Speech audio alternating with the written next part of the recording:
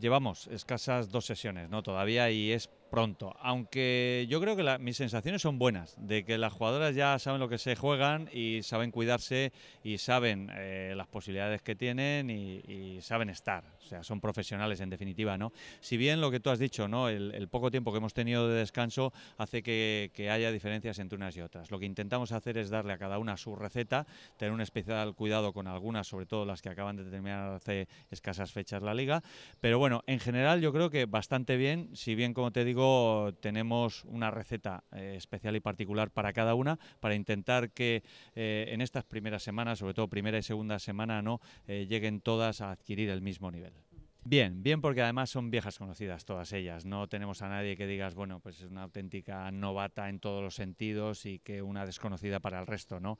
No, porque, bueno, eh, Laura Herrera, a pesar de su juventud, ya ha sido compañera de otras que llevan ya tiempo, ¿no? Eh, compañera en categorías inferiores, con lo cual no es ninguna desconocida. Blanca Marcos le ocurre lo mismo con su contemporánea Ana Cruz. O sea que, en definitiva, unas y otras eh, ya tienen relación con algunas de las que estaban, con lo cual su inclusión dentro del grupo a nivel de cohesión y de forma social y extradeportiva no ha tenido ningún problema. Y en cuestiones deportivas, bueno, pues como te decía antes, son únicamente dos sesiones las que llevamos y será mm, conforme avance el tiempo lo que se vea de cada una de ellas y su trabajo en la pista lo que determine, ¿no? Hombre, yo lo que no me planteo es si es suficiente o no es suficiente. Como entrenador siempre pediríamos más, pero es que si tuviéramos tres meses pediríamos tres y medio y si tuviéramos cuatro pediríamos cuatro y medio. Yo tengo uno y, pediría uno y medio, pero sé que no es posible. Entonces me lo planteo como que es la mejor de las alternativas posibles y entonces lo que intentamos es condensar el trabajo y que en este mes procurar sacar el mayor rendimiento posible al grupo. Mm, esta mañana me comentaba Víctor, mi ayudante, ¿no?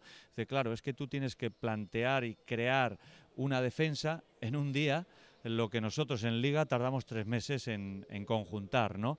Pero bueno, son cosas también que el hecho de que haya jugadoras que ya vienen de convocatorias anteriores y que nos conocemos mutuamente, ellas a mí, yo a ellas, ¿no? Hace que la cosa fluya un poquito más rápida y que yo creo que con este mes estaremos en condiciones de hacer un buen trabajo en el europeo.